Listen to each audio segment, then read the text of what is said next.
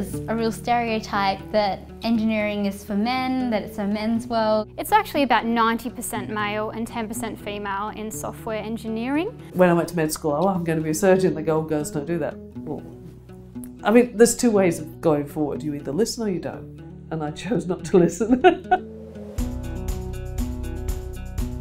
How often have you been told you can't do something? Why? Because the person who's telling you that you can't do it didn't do it. For the girls, get to the table. There's, there's no reason why you can't be there. There started to be a lot of advertising around computers and consoles like Nintendo, I love, but all of their advertising had boys in it. And so families thought stuff was for boys, um, kids thought this was stuff for, for boys and we're still living with that legacy. So I think part of it is just normalizing women's involvement again because actually all the first computer programmers were women. They wrote like rocket code because it was programming was seen as like typing women's work, but then dudes came along and found out that actually this is pretty cool, and so now we're gonna kind of take it over.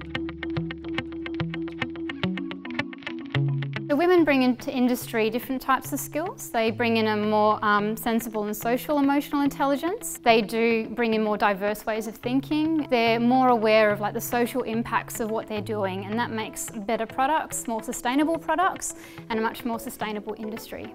Are you ready to start? Yes. Go for it. Now the girls are becoming confident in their decision making and seeing themselves through role models, through programs that we're um, associated with, that they can do these things. The airlock will open once all the water's gone.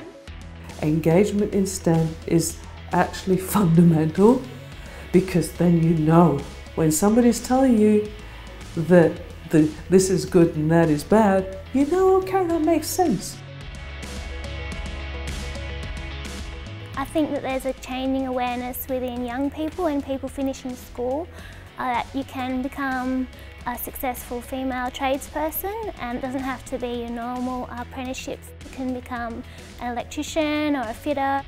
There's always an element that you can build on and you can move with technologies. That is cool.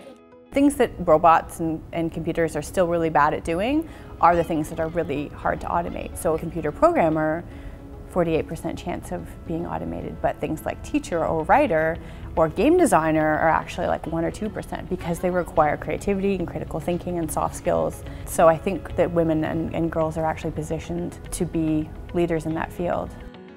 We've had girls who said, I like maths and science, and I've always just thought that I had to be a doctor. But now I know there's so much more out there for me. I know that I can work on big problems. I know that I can change the world. I think the main thing is to always just be curious and to look around your environment for new ideas. Just start doing. Just what do you love doing? What do you, what gives you energy? And just start doing that. Don't ask for permission. Don't wait wait for permission to do anything. That was how I got into games. Your education gives you those choices, and we are moving into a space where unless your education has a solid STEM component, your choices will be limited.